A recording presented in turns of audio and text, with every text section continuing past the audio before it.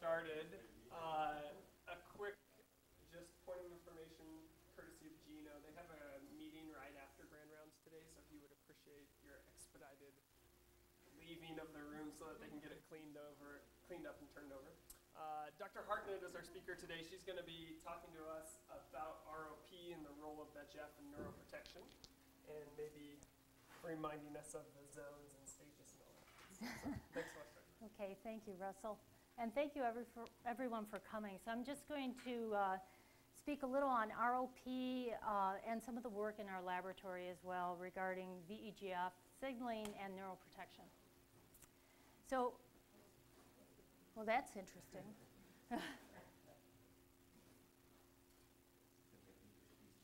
yeah. Well, let's let's just go ahead and I'll try to tell you what it says. So we have a, a 24 and 3 7th week, uh, 580 gram gestational age girl who was a twin. She's twin B. She was delivered by emergency C-section due to fetal bradycardia. And her APGARs were uh, 4 and 7, so that's 1 minute and 5 minutes. Uh, she was given um, surfactant for respiratory distress. So at 32 weeks post-gestational age, that's when she had her first eye examination. Um, this is what her RetCam images showed. So again, this is just an image contact for a premature infant with optic nerve and vessels. And no ROP stage was present uh, according to the examination. So that was at 32 weeks. And follow-up examinations were performed by pediatric ophthalmology. And then at 34 to 35 weeks post-gestational age, she had this examination. So, so what are the zones and stages of ROP in these eyes? So, um, Brian, yeah. yeah, can you uh, can you give me an idea of you know how would you describe this? Yeah, so we're looking at the image on the left. Mm-hmm. Looks like the left eye. Left eye. Maybe not. No. Right eye. Okay, that's okay. It's hard to tell, but that's good. Um, the, the media is clear. Good. And then looking at the vessel, we want to look at the tortuosity of the vessel. Um, and then so we're looking at the nasal Good.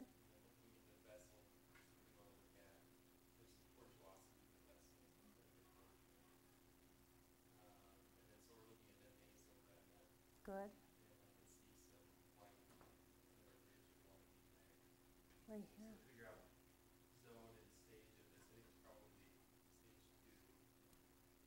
Okay. And what's this out here? kind of this uh, virus proliferation of avascular retina. Probably not fibrous proliferation, but yes, avascular retina, so where the retinal vessels have not yet extended. That's very good. And then what about in the, this is the right eye. Um, So probably stage two versus three, Okay, somewhere in that range. good. So then for zones, um, zone one would be a sixty degree circle centered on the optic nerve. So about a view of the twenty-eight after lens. Good. Okay, so that's a, a good way of assessing it, right? That, And then zone two would be extension of that circle out to the nasal or serrata. mm-hmm. Symmetrically into the temporal retina. Great. And then zone three would be the rest. Okay, good. And then Russell, what would you describe this, this kind of vasculature here? So, like Brian was saying, it's cohorts and tortuous, so kind of considered like clusters. Good. Okay, good. So, so we'll just go over that, and, and uh, Brian talked about this already. So, zone one is considered if a circle um, centered on the optic nerve, and the radius of that circle is twice the distance between the optic nerve and where you think the fovea would be. And of course, the fovea is not mature, so it's hard to do that. And a way to clinically assess it is to um, uh, center your image of the retina using a 28 diopter lens and an indirect ophthalmoscope on the optic nerve. And if any of the vessels in any clock hour falls inside that circle, it's considered zone one. So you can see there can be a lot of variation in zone one. You may just have one little notch of a vessel, and that can be very different than if you have all the vasculature within zone one. And then zone two is this circle with the radius from the optic nerve to the ora serrata, and zone three is the um, outside crescent left over. Oops, and stage stages, just to go over, stage one is just a faint line. Stage two is a ridge that has volume. If you were able to scleral depress it, you would see that it sticks up into the vitreous cavity. Stage three is extraretinal neovascularization, so blood vessel growth into the vitreous. And in um, research terms, we call that intravitreal neovascularization, and you'll see that, that uh, I'll talk about that a little later. Stage four is a partial retinal detachment, so this is when you start to get fibrovascular changes in the retina, and it can be divided into A or B depending on whether or not the macula is involved, and B, the macula is involved. And then stage five, stage five is total retinal detachment, and I'll show you a picture of that later. So, um, so we have the zones and stages of these eyes. So it's probably zone posterior zone two, uh, stage two to three with plus disease. And so what's the broad classification of that? What would we descri- de- describe that? How about Ron? What would you call that? If you have a kid who's um, got plus disease in zone two, which stage two to three? Good, okay. So type 1 ROP, and, and from the, the early treatment retinopathy prematurity study, we know that the natural history of type 1 ROP, and actually it's, it was proven, but that 15%, there's a 15% risk of an adverse outcome, which can include stage 5 retinopathy prematurity with total retinal detachment. Now, this is a picture of that. So we have a clear cornea, we've got some posterior synechia, the iris on the lens. It looks like there's a cataract, but that lens is actually crystal clear. And behind that lens is a total retinal detachment with a fibrovascular membrane. And even with successful surgery of these eyes, and that's very difficult to achieve, the visual outcomes poor. So we want to prevent stage 5 ROP. So what are the, some of the treatments of type 1 ROP? The standard of care based on the early treatment retinopathy of prematurity study is laser ablation of the peripheral avascular retina. And this is an example of what that can look like. But there was a recent clinical trial um, that tested an anti-VEGF agent called bevacizumab for zone 1, stage 3 plus ROP. And that trial found that in those eyes, there was um, better out, there were, th- th- it was less likely that you would need repeat surgery, um, meaning repeat laser or uh, anti-VEGF treatment. After anti-VEGF treatment, than um, if those eyes had been treated with laser.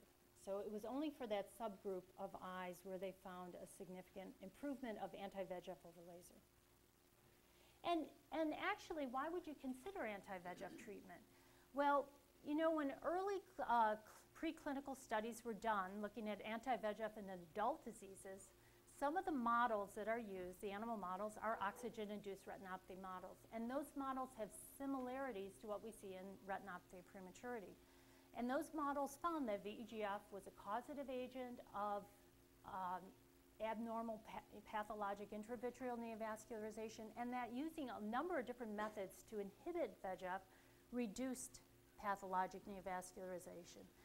We also found that, that if you can restore VEGF receptor 2 signaling, so VEGF is a ligand that binds to its receptor. If you can re restore the signaling to physiologic levels, you actually cause the, the cleavage planes of the dividing endothelial cells to become ordered so that it promotes vascularization into the retina rather than having the blood vessels or the endothelial cells um, divide on top of each other and get access into the vitreous. So that's at least the hypothesis that we had. And there's also, besides that, experimental evidence that physiologic retinal vascularization is not inhibited compared to control. So, so inhibiting VEGF, which is an angiogenic agent, you could say, well, okay, I'm inhibiting pathologic angiogenesis, but in a premature infant, the retinal vasculature is still developing. So it's probably, wouldn't it also inhibit normal vascularization? And at least the experimental evidence suggests it doesn't at certain doses. And that may be that if you can restore physiologic VEGF receptor 2 signaling, you actually can promote normal vascularization and inhibit pathologic. However, since that study, there were a number of reports that were very concerning. of persistent avascular retina, recurrent neovascularization, even stage 5 retinopathy of prematurity reported up to a year after treatment with one intravitreal dose of anti-VEGF. And the, um, th this is unusual because the natural history after laser treatment, usually we think of kids being in the clear at about 54 weeks post-gestational age, so you know that's much lower than a year after treatment. So people thought, well, maybe it's just that anti-VEGF is somehow changing the natural history, and it's just that you, you know, in laser you're already ablating that avascular retina, and you're not doing that when you give anti-VEGF, so that avascular retina is still a stimulus that's promoting the production of more VEGF and therefore pathologic angiogenesis. So we just need to change the way that we follow these kids. So that was one thought. However, then there were these studies that showed that when you give an intravitreal anti-VEGF agent, you reduce the serum VEGF levels for at least two weeks. And I just came back from a meeting where it was eight weeks. That was what was reported in the study. And VEGF is a survival factor not only for endothelial cells and important in retinal vascular development, but it's also a neuroprotective agent. So there were concerns about this and what effects it might have on a developing premature infant. And then we also looked in an animal model that was representative of our ROP, you know, what would happen if we used a neutralizing antibody to rat, we use a rat model, rat VEGF, um, and follow it over time. So what we found is we could significantly inhibit intravitreal neovascularization, but if we followed those animals at a later time point, they developed recurrent neovascularization into the vitreous, and it was atypical looking. It was these plaque-like areas as opposed to the typical intravitreal neovascularization we see. And it occurred in association with like a rebound of increased signaling through VEGF, but also other angiogenic pathways, including erythropoietin, suggesting that if we gave more anti-VEGF treatment, like what we do in adults, it wouldn't affect, it wouldn't treat it we would only be making the situation worse. So I just want to get back and, and remind us all how, what, because I'm going to be using terminology and I can visualize it. So I think it sort of helps to, if I can share a, a picture with everyone. So VEGF has a number of family members. We're going to talk about VEGF-A. And there actually are at least three different receptors and then co-receptors as well, these neuropilins. The ligand, that's VEGF, binds to its receptor, and then it causes these eh, biochemical effects in the receptor that's inside the cell that then can trigger signaling through pathways within the cell, and then that leads to biologic effects such as angiogenesis. And we're going to talk about VEGF-A because that's, that's the one that's angiogenic or thought to be the, that the most is known about the angiogenesis right now. And we're also going to be probably focusing on VEGF receptor 2, which is really the uh, receptor that's thought to be uh, the angiogenic receptor. We also need to remember that there are a lot of different cell types in the retina. And you, you, know, when you're giving an antibody to VEGF, you're binding the ligand so it can't get to the receptor in any of these cell types. So we're not only talking about the endothelial cells, which have, um, which have VEGF receptor 2, but VEGF receptor 2 is also found on Mueller cells, it's found on neurons, it's found on ganglion cells and other cells. So it can have other effects. So we came up with the hypothesis that if we could target the cells that overproduce VEGF in the retina, that we would safely reduce intravitreal neovascularization without inhibiting normal vascular development. And that if we knock down a splice variant of VEGF, VEGF 164, it would be safer than knocking down all of the VEGF-A compound. Now, we can't experiment on premature infants, and so we must use representative animal models. And the information that we learn from adults is not the same as what happens in a premature infant, especially in the eye, and probably also in the body. So we use a representative model of retinopathy of prematurity developed by John Penn, it's called the RAT 5010 oxygen-induced retinopathy model, and it looks like type 1 ROP. It develop, it, there's a delay in physiologic retinal vascular development and this area of intravitreal neovascularization that occurs at the junction of the vascular and avascular retina. So these are flat mounts taken from rat pup eyes. The optic nerve is in the center because rats don't have maculas. The vasculature is stained with lectin so we can visualize it. And because the eye is round, when you flatten it out, it comes out looking like a clover leaf, unlike the circles that we draw. So the other reason that we use, uh, the, other, the other reasons why the rat model is representative of human ROP is that the, the uh, pups and their moms are placed into a cycled oxygen environment and these oxygen levels translate to arterial oxygen levels in the rat pups that are similar to what human preterm infants that develop type 1 ROP uh, experience. So the, the oxygen model, uh, the, the oxygen that uh, the inspired oxygen causes uh, arterial oxygen similar to what preterm infants have.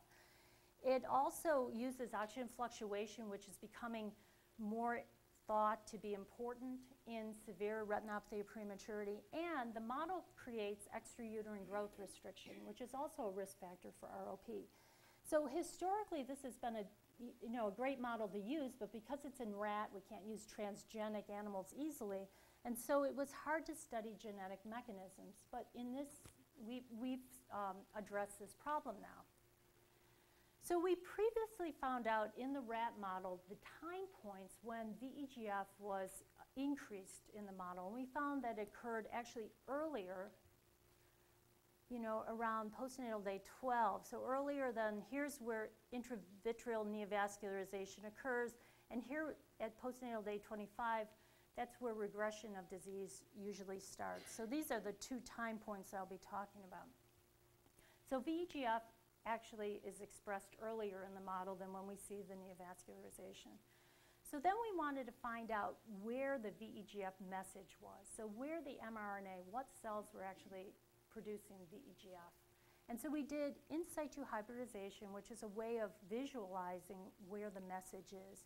And so here are the different splice variants of VEGF. This is through the mRNA. And we see that VEGF is in the RPE, it's in sort of the photoreceptor outer segments here, and in the internuclear layer. So the Mueller cells have been discussed by other people that, that, that it, they may be the ones that are expressing pathologic amounts of the EGF as well. And so we wanted to target Mueller cell VEGF, and we used a lentivector gene therapy strategy to target overexpressed VEGF in Mueller cells only. So this was a novel lentivector that we developed in the lab, but we did it through collaboration with a lot of experts. So we designed and tested several shRNA, short hairpin RNAs, to VEGF-A, VEGF-164, or luciferase, which is a non-mammalian gene and serves as a control. And we tested the efficiency in reporter cell lines that overexpressed some of the splice variants. And we also tested specific specificity to Mueller cells in a cell line and also in vivo. Now, we, John Flannery had developed a plasmid that has a CD44 promoter that targets Mueller cells only. And so we, the, and it has a GFP, so it has green fluorescence protein tagged with it. So we can see where that um, lentivector with this plasmid would get into the, where it would go, that would go to the Mueller cells. One of the problems or the challenges is that CD44 requires polymerase II to be, to be expressed and to be driven. And the polymerase II is not really that efficient at driving shRNA. So in order to get by that uh, problem, we had the um, shRNAs embedded within a microRNA 30 construct. So it's not a microRNA, but it's within that construct, which makes it more efficient to be able to drive the target shRNA and GFP. So we put this all together, put them into lentivectors, and then it took six years. And now the next slide, okay? And then, uh, so here are some pictures, because pictures I think are more fun than words. And so what we see here is this shows that first the top shows that we are able to transduce Mueller cells Um, so here's PBS. So, so the, this lenti vector is given as a subretinal injection at postnatal day eight in the rat pups. PBS, we don't see, and these are micron images in live animals, so no GFP, but the luciferase, which is the control, we see good GFP of the Mueller cell end feet and also the VEGF-A shRNA. Now we want that. We want the control to show GFP so we know that we actually were able to transduce Mueller cells. And then this is a cross-section showing a, G, a CRAL-BP labeled Mueller cell co-labeled with GFP. And then here, this just shows that when we took the, the retinas out and measured them for VEGF, this is uninjected room air, so this is kind of in development. We see that there's a significant reduction in the VEGF levels by the VEGF-A shRNA compared to PBS injection or to luciferase injection as a control. So the first thing we wanted to do now that we had the tool was to determine the effect of targeted knockdown of VEGF-A by, in Mueller cells on the natural, the, the capillaries, the developing normal physiologic capillaries of the retina, and compare it to when we use an anti-VEGF antibody. Because we had found that the, previously that the anti-VEGF antibody had recurrent neovascularization and that um, it also um, upregulated other angiogenic pathways besides the EGF. So we, we uh, collaborated with uh, Brian Jones in, uh, here at Moran, and we used a SynchroScan. So here just gives an example. This is a flat mount of retina that's labeled with um, lectin, and then we, we were able, even though it looks like two different colors, this is just dividing out um, by looking at different planes in the z-axis, the inner plexus and the deep plexus. So we were able to actually measure the inner and deep plexi uh, in this model. So then we, we wanted to, to study the, the effect in two different ways. So classically, we just measure the amount of vascular to total retina when we think of the effect on capillaries, on physiologic vascularization. But that doesn't get a capillary density as well as actually measuring the pixels of fluorescence. So we use two different methods. We looked at extent, we called it extent of vascularization of, to total vascularization, and we looked at the pixels of fluorescence to the total retinal area, okay? And we compared the anti-VEGF to its control and the SH, shRNA to VEGF-A to its control. And Haibo Wayne really spearheaded this. She's a research assistant professor in my laboratory. And what we found, what she found, was that the vascular coverage, the way that we would, you know, classically measure the amount of um, the effect on the retinal vascularization, was not affected. Uh, there was no difference in each treatment compared to its respective control. However, when we looked at capillary density, the anti-VEGF here significantly reduced capillary uh, density compared to its respective control in both the inner and deep plexus. We also looked at the angles of the cleavage planes and basically when, when the, these are two, this is a mitotic figure that is, it's actually a drawing, but it represents a mitotic figure during anaphase that's been labeled with uh, antiphosphohistone uh, H3, which is an antibody, that shows us the two dividing um, in, in, mitosis, the da daughter cells. And the angle predicts whether the vessel's elongated, widened, or irregular or disordered.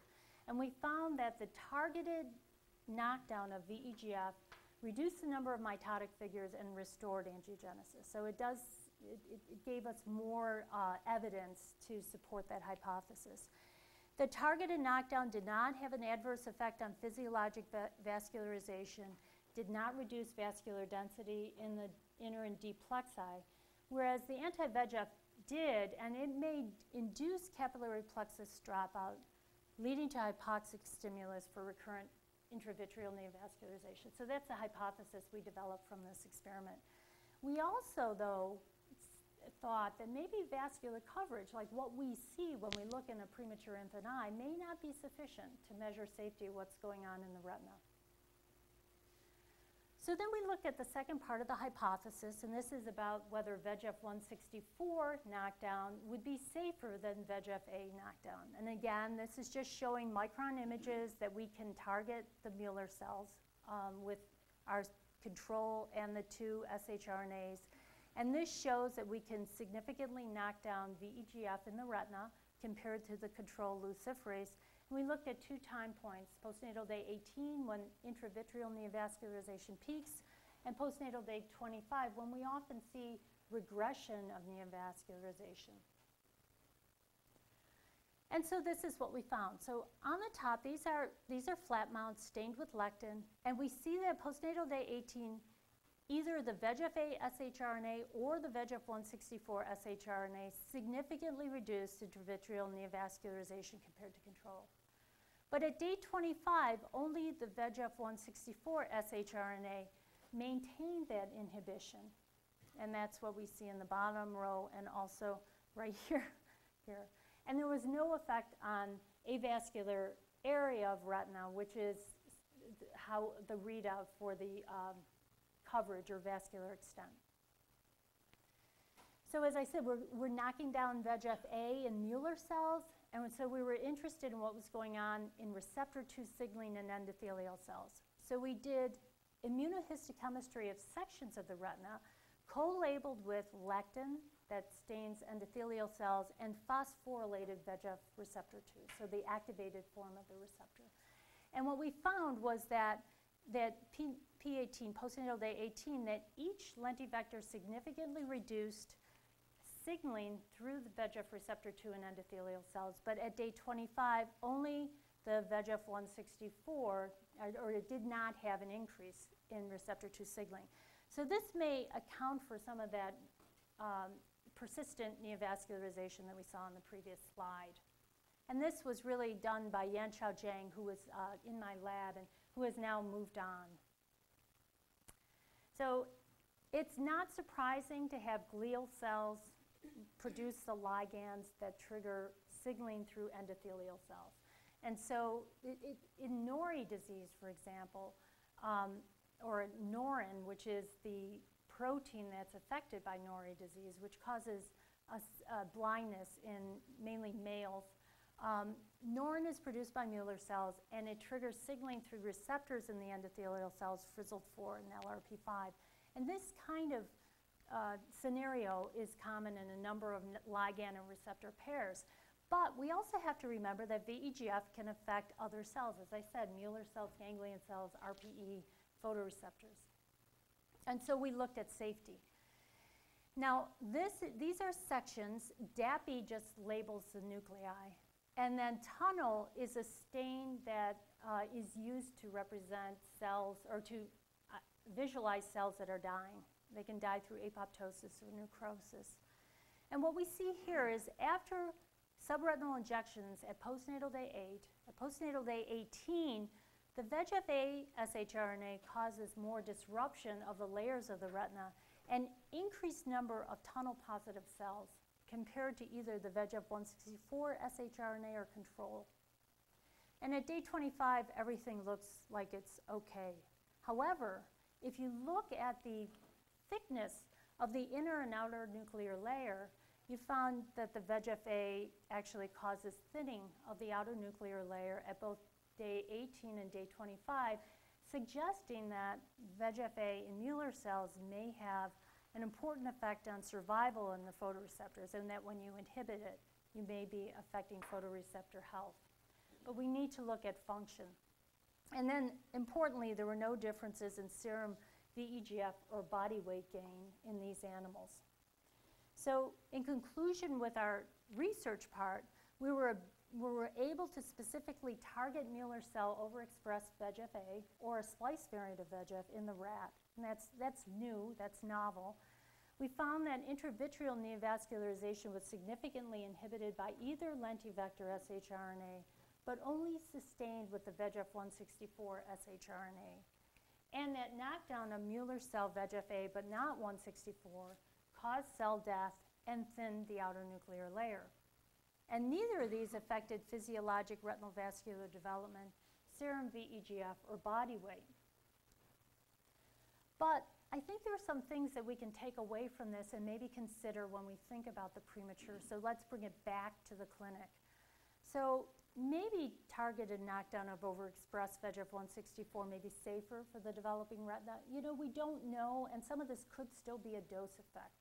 But some of the soluble forms, the secreted forms of the EGF, are not affected by inhibiting VEGF-164. So those secreted forms may be able to get to the ganglion cells and the photoreceptors and other cells and maintain their health.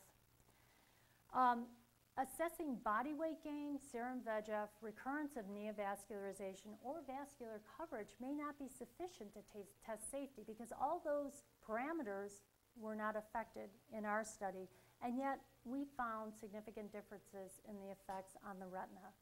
But we need to do studies on structure and function. And so we've, we're hoping that we're, we're funded to continue doing those studies. So we've refined a relevant ROP model and made it rigorous to study molecular mechanisms. And our plan now is actually to start to target the uh, receptors at the endothelial cell level and to try to specifically inhibit the um, overactivated VEGF receptor 2 there to normalize it to physiologic uh, states. So let's go back to baby girl, LB then. So she was 34 to 35 weeks post-gestational age. The thought was it was posterior zone 2 with stage 2 to 3 plus disease, and the broad diagnosis Ron had said was type 1 ROP. So they're clear media, um, not stage three plus, not zone one. So the decision was to treat this with laser. And so we, she had laser treatment of the peripheral avascular retina and then weekly follow-up for progressive stage 4 ROP or continued vascular activity.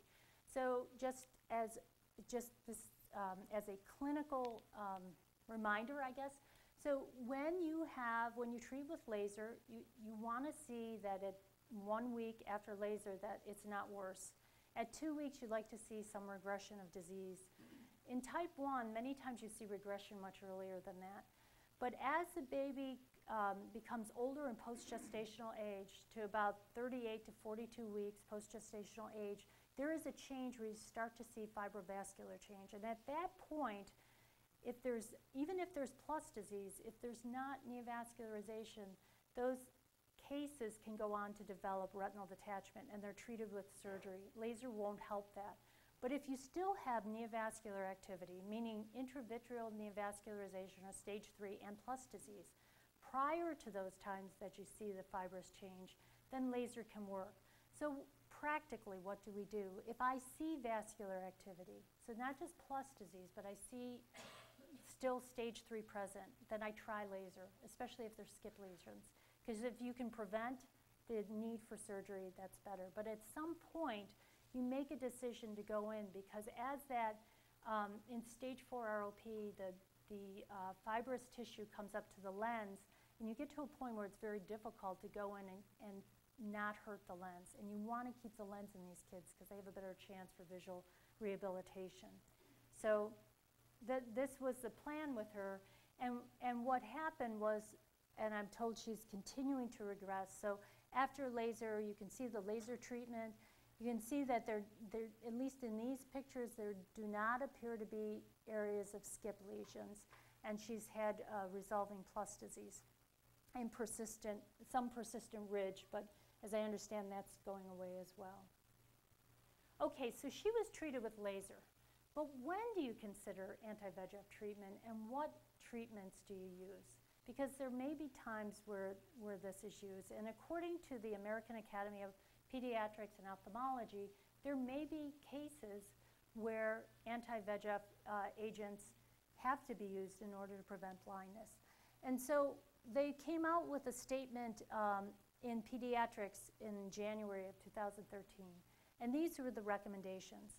They recommended bevacizumab because it's the only anti-VEGF agent that's been tested in a clinical trial so far. So we don't have, we only have series of cases with ranibizumab. We don't have controls. Neither, bevacizumab's not FDA approved for the eye, so it's really important to have a de detailed informed consent when you talk with the parents. It's only to be used for Zone 1, Stage 3 plus ROP, so not Zone 2 ROP. This is, these are from the recommendations. And it's used when other things kind of preclude your ability to treat with laser, because laser is the standard of care based on the large ETROP trial. And there, there were a lot of concerns about the, the clinical trial with anti-VEGF treatment. Other requirements, weekly examinations until the retina becomes fully vascularized. So this is uh, because the anti-VEGF can cause persistent avascular retina even a year after treatment. It's important to have a log with the dates of treatment and who the treating physician was, and then good communication between the treating and receiving teams upon discharge of the infant or transfer to another NICU. So it's really critical that these kids not be lost because they if they have persistent avascular retina, it is conceivable that that provides a hypoxic stimulus for new VEGF and other angiogenic factors, and then that can lead to retinal detachment. We don't know the right dose. We don't know the type of anti-VEGF agent to use or the effects on safety. So that's, those are still questions. And I think it's really important to think about this. These are recommendations based on regions in which oxygenation of the infants is regulated. So we're talking about the United States.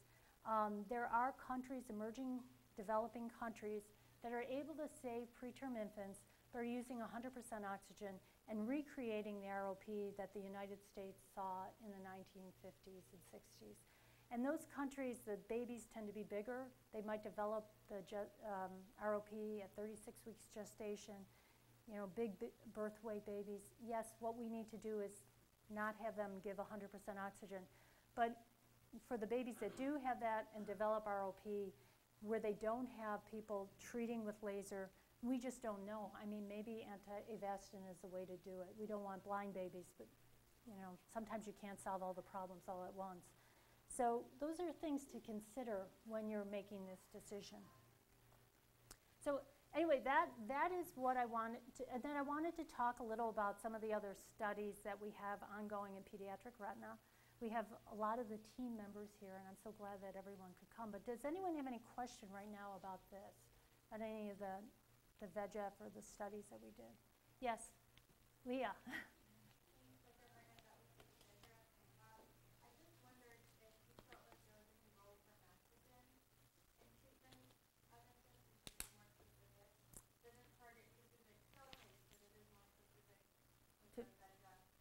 Right.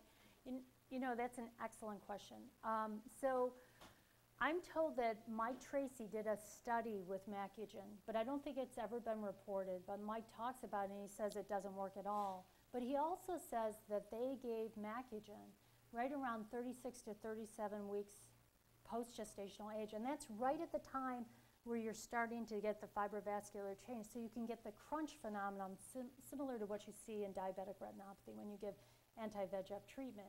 And then the other thing, it's, a, it's an aptamer, so I'm not sure that it would be, I, I'm not exactly sure how it works in comparison to other mechanisms to deliver anti-VEGF. Yes, Barb? was thinking the same exact question, because that's the whole value proposition for Macugen, because it was 165 specific. Right.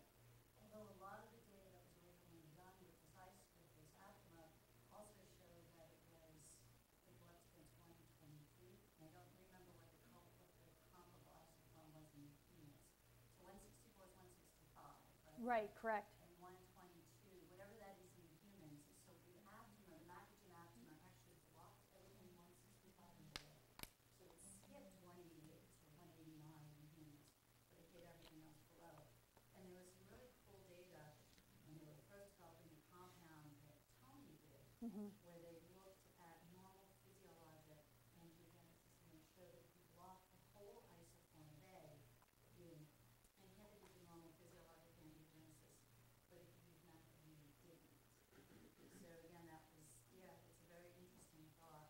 Right. It may be, I, I keep thinking it might be that a different way of approaching the drug delivery or the, the way to target might be useful.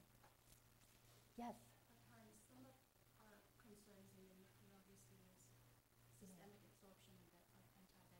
Mm-hmm. There are lots of other organs with right. that are needing like the lung and the kidney. So in your animal model, have you looked at other organ systems? So, yeah, that's a that's a good question. So we have collected the, the organs, we haven't looked at it yet, but that is what we want to do. And also look at the brain, I think with Joanna, and, and maybe Shrana Patel too.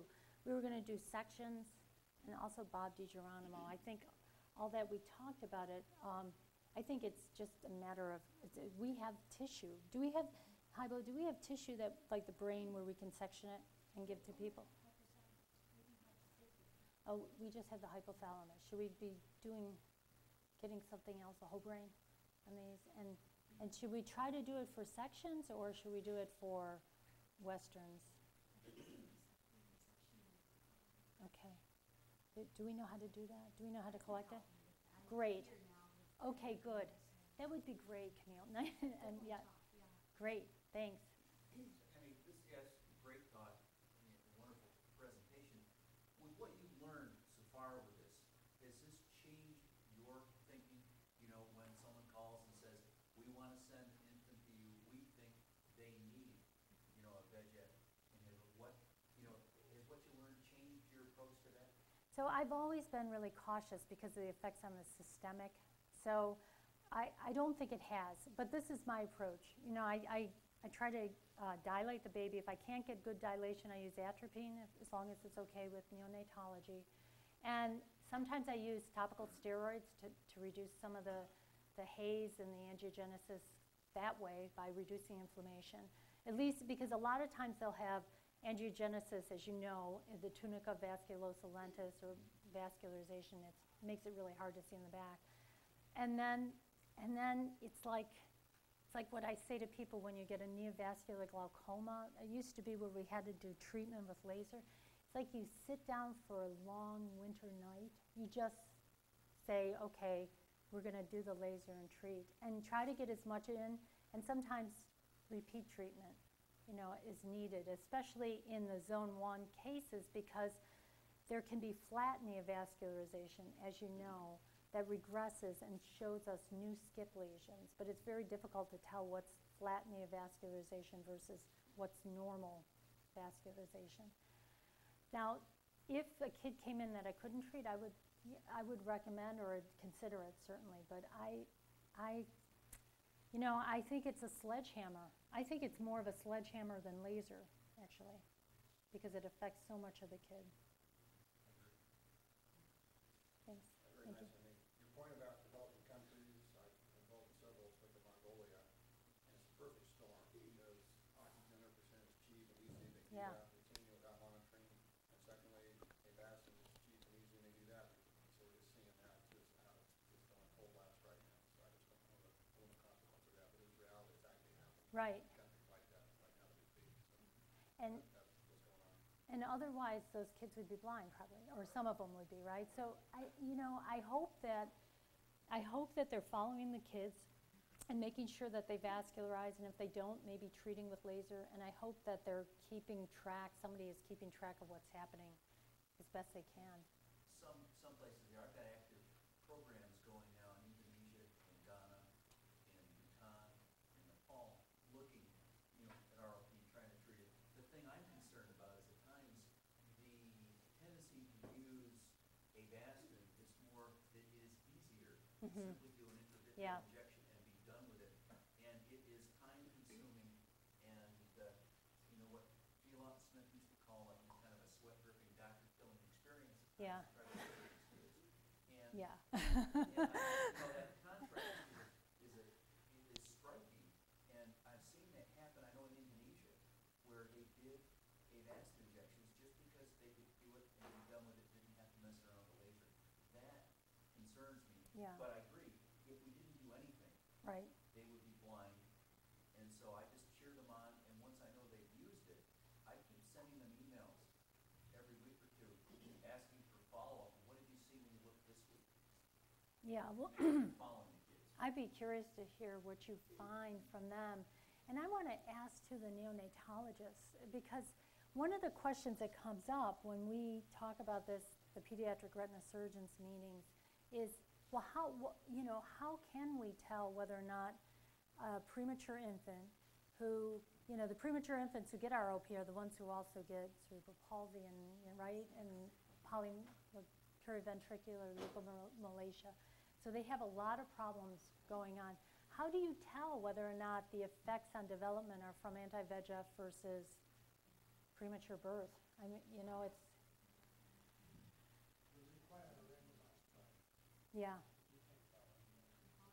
Well, I think beat, beat ROP, so, not beat ROP, um, what is it called? Block ROP, right?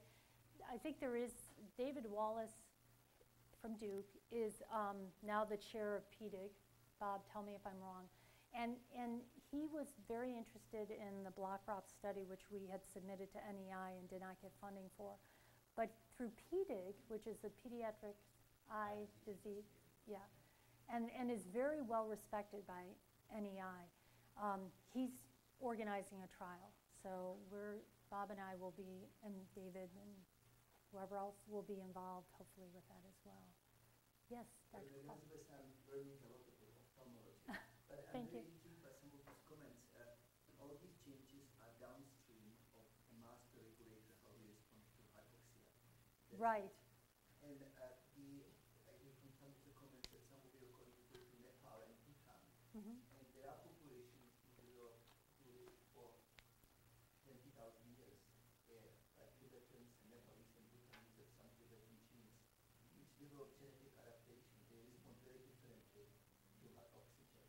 And it would be very interesting, and some of these mutations now we identified, it would be very interesting to see if the Bhutanese and Nepalese, uh, uh, based and without mutation, uh, have a different uh, incidence of some of these defects. That would be very interesting to talk to. We better talk about it. yeah, good, thank you.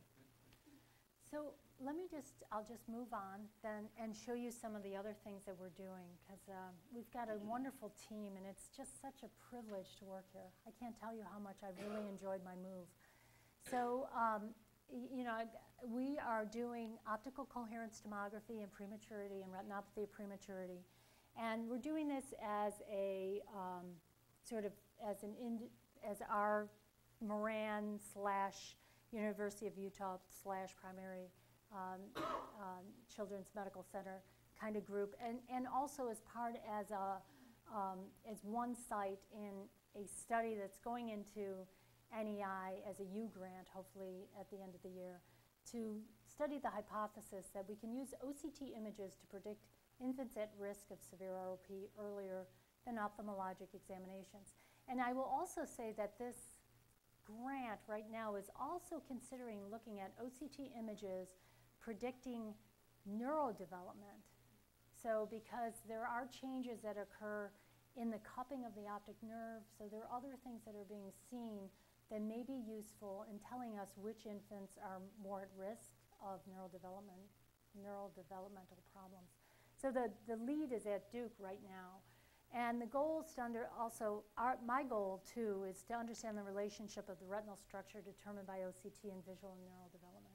So, you know, the, because we're seeing that things are different in premature infants. So these are some images. So Glenn and Siri, um, Paula and Jim and Mel, our photographers are really, I mean, being able to take images of premature infants by handheld OCT in the NICU while the infants are awake. And, and we also have the whole neonatal nursing group.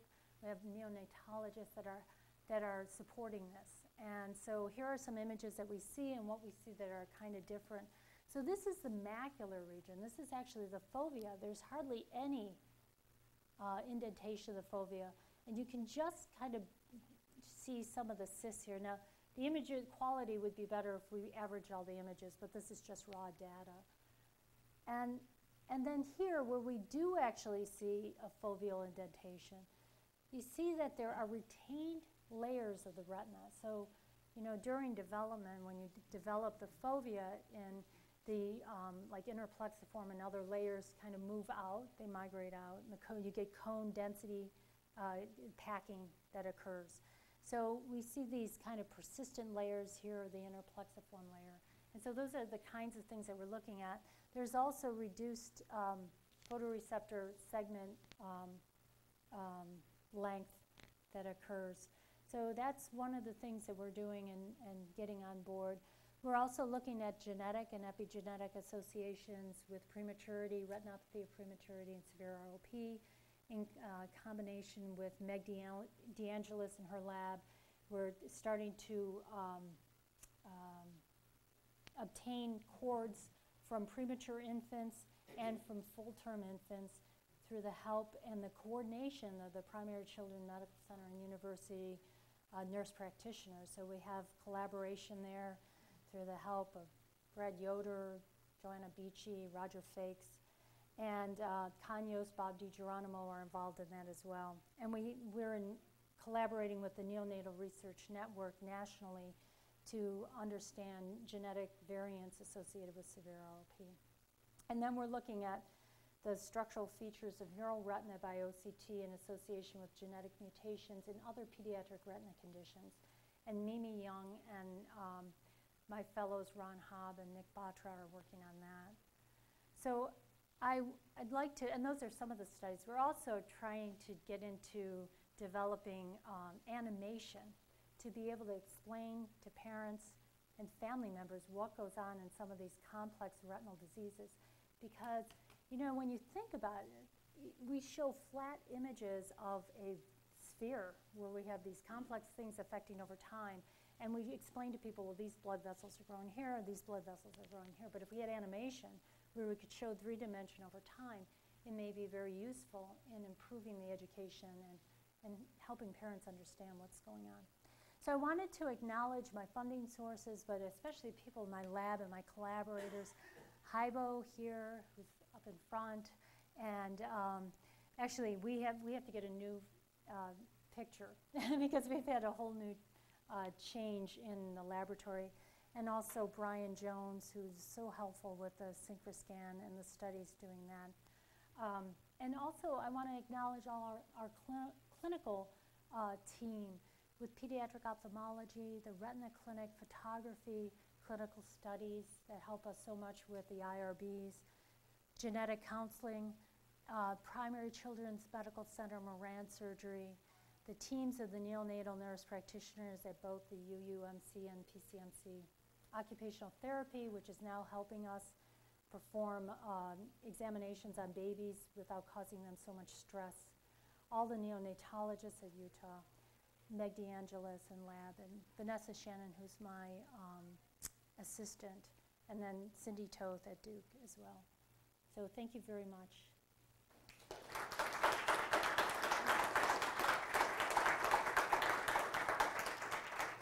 And if anyone wants to be involved in any of those, just please, we're always looking for people to help.